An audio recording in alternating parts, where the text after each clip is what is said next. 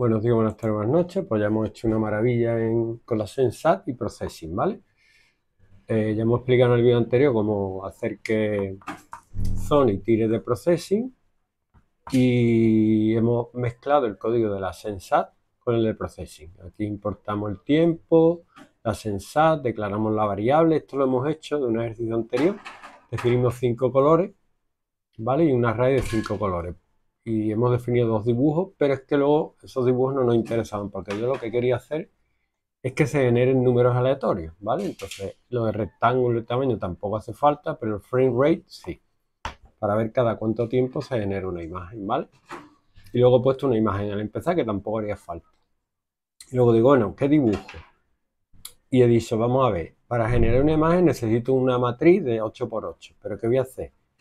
Poner ocho veces esto aquí y copiar el código, eso, es una locura. O sea, para que me genere un array, un color aleatorio de la lista de colores, no.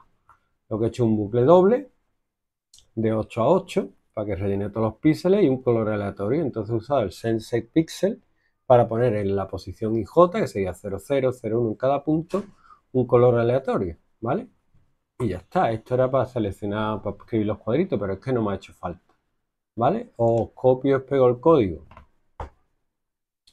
en el vídeo para que lo probéis, pero es bastante chulo porque la, la Sensat de la Raspberry muestra colores aleatorios cada cuanto yo le diga. He puesto dos segundos, bueno, el tiempo que sea.